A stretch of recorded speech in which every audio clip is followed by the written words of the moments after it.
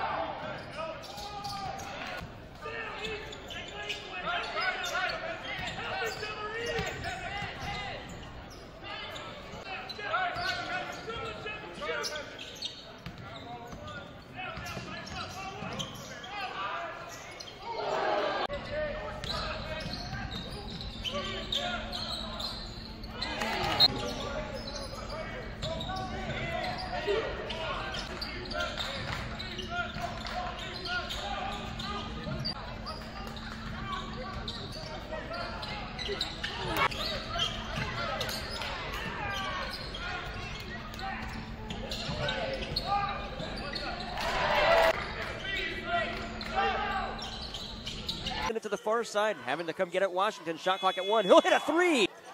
And Moberly the other way after the rebound was taken down by Spillers. Now gets it back. Spillers to Sykes up top. Spot up Washington for three. As Washington is 6 1. Dylan Williams 5'11. Washington for three near side over Williams. Good. Here's Boothman. Righty floater from the foul line. Can't hit. Wanted a foul. Didn't get it. Rebound Teddy Washington. Mac needs to be smart every time they come down to uh, take a shot and not rush themselves.